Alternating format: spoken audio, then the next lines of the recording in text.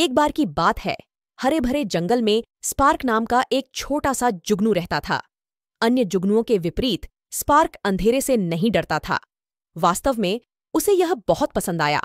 हर शाम जब सूरज क्षितिज से नीचे डूब जाता था तो स्पार्क जगमगा उठता था और जंगल के चारों ओर नृत्य करता था, जहाँ भी वह जाता था, खुशी फैलाता था।